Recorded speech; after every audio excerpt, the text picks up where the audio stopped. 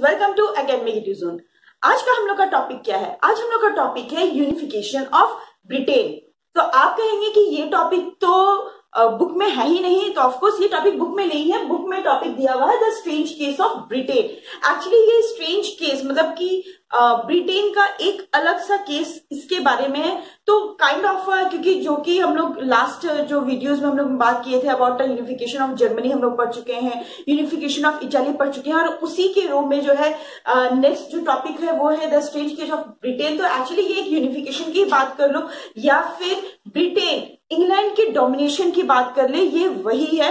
तो ये इस टॉपिक के अकॉर्डिंग दिया हुआ है लेकिन यहाँ हम लोग जानेंगे कि किस तरह से इंग्लैंड जो है ब्रिटेन जो है वो डोमिनेट होकर जो है पूरा एक ग्रेट ब्रिटेन जो है वो फॉर्म करता है। ठीक है तो let's start to know about that लेकिन सबसे पहले सबसे पहले ये यूनिफिकेशन को जानने से पहले हमें इंपॉर्टेंटली कुछ और चीज़ें जाननी होगी। जैसे कि हम लोग को सबसे पहले जानना ये ज़रूरी होगा कि हम लोग अलग अलग नाम जैसे England Britain Great Britain British else तो ये सब नाम अलग अलग हैं तो क्या ये आ, कुछ अलग अलग कंट्रीज़ हैं या क्या है? ये बहुत स्टूडेंट्स को कंफ्यूजन रहता है। तो सबसे पहले यहाँ इस कंफ्यूजन को दूर करना है।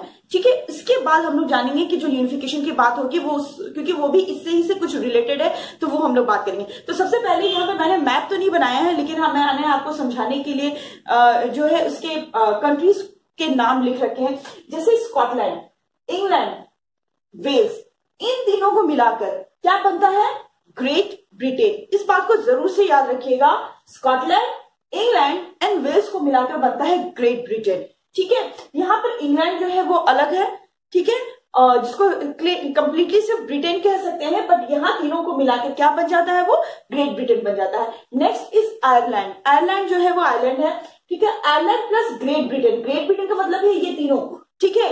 आयरलैंड प्लस ग्रेट ब्रिटेन बनता है ब्रिटिश आइल्स ठीक है, ये बहुत ज़्यादा आपको ध्यान में रखने की ज़रूरत है, क्योंकि अभी जो हम लोग बात करने जा रहे हैं about the domination of England या फिर फॉर्मेशन ऑफ़ ग्रेट ब्रिटेन उसकी बात करने जा रहे हैं तो उसमें यहाँ आपको कोई कंफ्यूजन नहीं होनी चाहिए क्योंकि यहाँ बार बार हम uh, हम लोग यहाँ आएँगे और मैं आपको समझाने की कोशिश करूँगी ठीक है? तो यहाँ क्लियर अभी आप समझ लीजिए कि ये कंफ्यूजन बिल्कुल नहीं रहना है कि यूनाइटेड किंगडम क्या है ब्रिटेन क्या है इंग्लैंड क्या है ग्रेट ब्रिटेन क्या है या ब्रिटिश आइल्स क्या है ये क्लियर होना बहुत ज़रूरी है। तो ये चीज़ें जो है आपको याद रखनी होगी ठीक है? नाउ लेट्स स्टार्ट कि जहाँ हम लोग ने बात की स्कॉटलैंड इंग्लैंड और वेल्स की तो ये, इस तीनों में जो है ब्रिटेन का फॉर्मेशन कैसे हुआ इसको इसके बारे में हम लोग जानेंगे। तो सबसे पहला जो लाइन है जो बुक में आपके दिए हुए the formation of Britain was the result of a long drawn out process that means कि ये जो ब्रिटेन का जो फॉर्मेशन हुआ ये ग्रेट ब्रिटेन का जो फॉर्मेशन हुआ है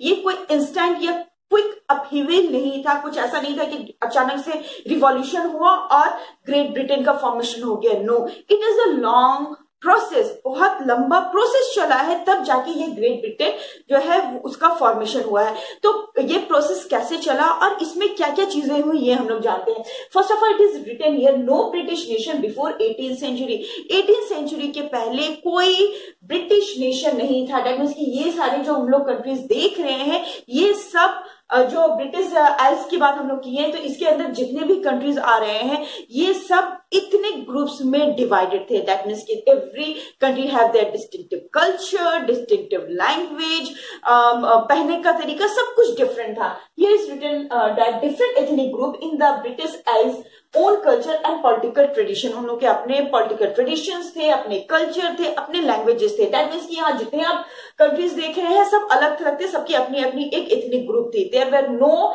British nation in starting till the eighteen century eighteen century तक कोई ब्रिटिश जो है वो नेशन नहीं था। तो ये तो ये ब्रिटिश नेशन का फॉर्मेशन कैसे हुआ?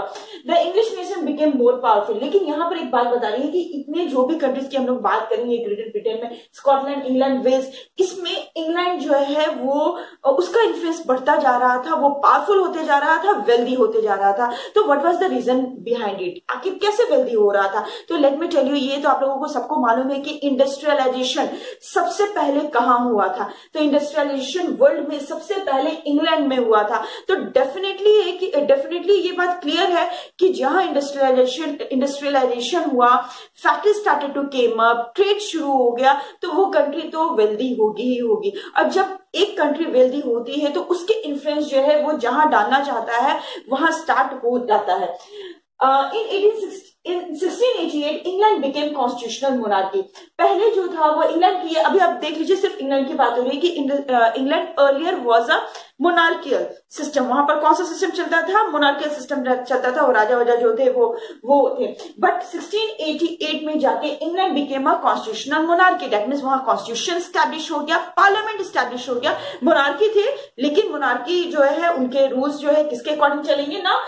With the help of constitution constitution के अकॉर्डिंग वो चलेंगे। तो यहाँ पर क्लियर है कि 1688 में England was converted into monarchy to constitutional monarchy और उसके बाद क्या हुआ? The act of union seventeen 1807 between England and Scotland एक काइंड ऑफ़ अ ट्रीटी एक एक्ट हुआ इन द ईयर 1707 और उसके अकॉर्डिंग इंग्लैंड से स्कॉटलैंड को मिला दिया गया।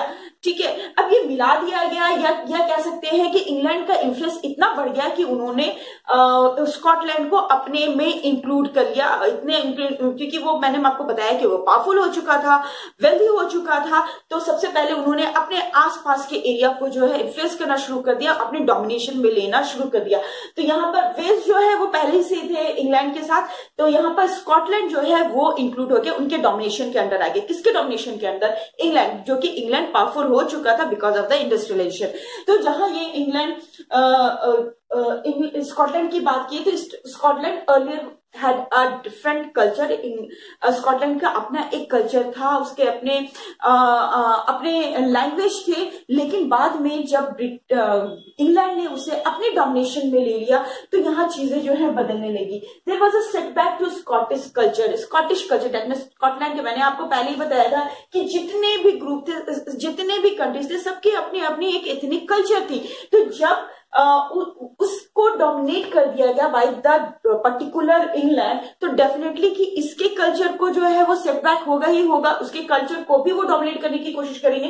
तो यहाँ पर इसी बात को बताया गया है कि स्कॉटलैंड स्कॉटिश कल्चर को जो है एक बहुत बड़ा झटका लगा, क्योंकि अब उसको डोमिनेट कर रहे थे कौन? इंग्लैंड इंग्लैंड जो था, वो प्रोटेस्टेंट था। क्रिश्चियनिटी में जो आप लोग जाते हैं, कैथोलिक और प्रोटेस्टेंट। ठीक है? तो इंग्लैंड जो था, वो कंप्लीटली प्रोटेस्टेंट डोमिनेटेड था और स्कॉटलैंड जो था, कैथोलिक था। तो यहाँ पर भी आप एक बात इजिली समझ सकते हैं कि जहाँ इंग्लैंड जो है वो प्रोटेस्टेंट था और वो डोमिनेट कर चुका था, वो स्कॉटलैंड को अपने अंडर अपने डोमिनेशन में ले चुका था। तो यहाँ क्लियर है कि कहीं ना कहीं प्रोटेस्टेंट भी कैथोलिक के ऊपर डोमिनेट कर रहे होंगे। तो यहाँ पर भी एक एक तो कल्चर में सेटबैक हुआ और डिफरेंट सेकेंडली जो है उसके रिलीजियस जो मैटर है, उस पर भी उनको एक डोमिनेशन जो है वो स्टार्ट हो गया बाय इंग्लैंड ठीक है? Scottish highlanders forbidden from their Gaelic language and national dress तो जैसे मैंने आपको बताया कि इंग्लैंड इंग्लैंड जो है वो स्कॉटलैंड को डोमिनेट करना शुरू कर दिया और पहले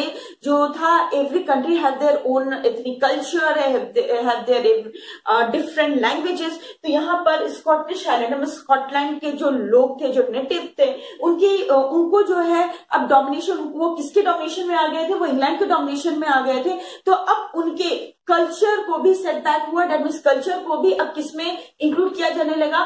इंग्लैंड इंग्लैंड का जो कल्चर था, वो अब डोमिनेट किया जाने लगा इन द स्कॉटलैंड और उनके जो लैंग्वेज थे, कौन सा लैंग्वेज था वहाँ पर? गैलिक लैंग्वेज वो भी अब इंग्लिश जो है वो डोमिनेट होने लगा था और उनके अपने लैंग्वेज को जो है वो मना कर दिया गया था कि कोई लोग जो है ये लैंग्वेज उनके अपने जो लैंग्वेज थे वो नहीं बोल सकता था, ना कि वो उनके अपने जो नेशनल ड्रेस थे, उसको भी फॉरबिडन कर दिया गया। डेट मीन्स की यहाँ पर सिर्फ़ ये चीज़ नहीं दिखाया गया है कि ये कंट्री को जो है उन्होंने अपने इन्फ्लुएंस के अंडर ले लिया ले लिया था, बल्कि ये कंप्लीटली हर तरह से डोमिनेट कर रहे थे whether it's talking about language we talking about culture we are talking about dress सब चीज़ में जो है वो डोमिनेट कर रहे थे। तो यहाँ एक बार समझ में आ गई कि किस तरह से इंग्लैंड ने स्कॉटलैंड को अपने अंडर करके तो it become a great Britain लेकिन यहीं पर स्टोरी खत्म नहीं होती है। ब्रिटेन का इन्फ्लुएंस जो है और बढ़ा। तो और बढ़ा तो कहाँ बढ़ा? It is the story of Ireland किस तरह से जो है ग्रेट ब्रिटेन और आयरलैंड को भी जो है मर्ज कर लिया गया, या फिर कह सकते हैं कि ग्रेट ब्रिटेन के अंडर उसे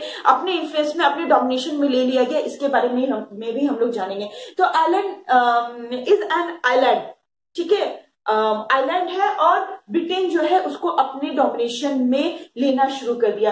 तो आइलैंड के बारे में थोड़ी सी बातें जानते हैं कि island was divided between Protestant and Catholic island में भी बहुत बड़ी पॉपुलेशन जो प्रोटेस्टेंट की भी थी और कैथोलिक की थी। यहाँ पर एक बात ज़रूर ध्यान रखिएगा कि यहाँ प्रोटेस्टेंट और कैथोलिक दोनों क्रिश्चियनिटी की तो है, लेकिन यहाँ अगर, यहाँ पर भी अगर इंग्लैंड का डोमिनेशन बढ़ता है ब्रिटेन का डोमिनेशन बढ़ता है तो यहाँ किसके ऊपर इन्फ्लुएंस ज़्यादा होगा?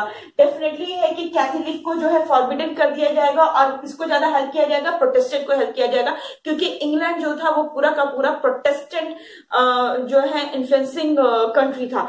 ठीक है? तो यहाँ पर आयरलैंड में भी यही चीज़ें हो रही थी। English help the Protestant to establish their domination English that mean England जो है, वो आयरलैंड में सारे प्रोटेस्टेंट जो है पीपल को ज़्यादा सपोर्ट कर रहे थे ताकि उनका डोमिनेशन बढ़ता जाए और कैथोलिक जो है, उनके सामने ना टिक पाए। तो ये चीज़ें वो लोग कर रहे थे। इनफैक्ट इन वहाँ पर रिवोल्यूशन भी हुआ। रिवॉल्ट किया गया in 1798 which was failed it was done Wolfe Tone and his United Irishman means Wolfe Tone और उन्होंने बहुत सारे आयरलैंड के जो पीपल है जो they don't want to get in to the influence of Britain उन्होंने रिवॉल्ट किया but it was failed and finally Ireland was incorporated in UK in 1801 1801 में आयरलैंड को भी किसके अंडर ले लिया गया? यूनाइटेड किंगडम या you can say great Britain का पार्ट बना लिया गया. डेट मीन्स की इसको भी ऑक्यूपाई कर लिया गया। और ऑक्यूपाई कर लिया गया तो डेफिनेटली यहाँ पर भी वही बात हो गई कि उसके कल्चर को, उसके लैंग्वेज को, उसके रिलीजन को भी जो है वो इन्फ्लुएंस किया गया, उसको डोमिनेट किया गया। तो डेट मीन्स की एवरीवेयर अगर हम लोग बात करें ब्रिटिश आइल्स की अगर हम लोग बात कर रहे तो ये जितने भी कंट्रीज़ थे, सारे के ऊपर किसका डोमिनेशन हो गया? इंग्लैंड का डोमिनेशन हो गया। सिर्फ़ डोमिनेशन नहीं हुआ, उन्होंने वहाँ पर अपने लैंग्वेज अपने कल्चर अपने ड्रेस सब चीज़ को डोमिनेट करना शुरू कर दिया। इसलिए यहाँ पर अगर टॉपिक ये दिया गया है the strange case of Britain तो यहाँ पर यूनिफिकेशन की तो बात नहीं होगी। यहाँ पर ब्रिटेन के डोमिनेशन की बात हम लोग कह सकते हैं, जो स्कॉटलैंड में उन्होंने डोमिनेट किया, या फिर आयरलैंड में उन्होंने डोमिनेट किया। तो यहाँ क्लियर है कि 1801 में ये जो ब्रिटिश आइल्स की हम लोग बात कर रहे हैं, वो पूरा कंप्लीट हो गया, और उसमें सबसे ज़्यादा पावरफुल कौन थे? इंग्लैंड थे। यहाँ क्लियर हो गया। उसके बाद अब ये तो क्लियर है कि ब्रिटेन जो है, वो अपने अंडर सारी कंट्रीज़ को ले लिया, अपने डोमिनेशन में ले लिया।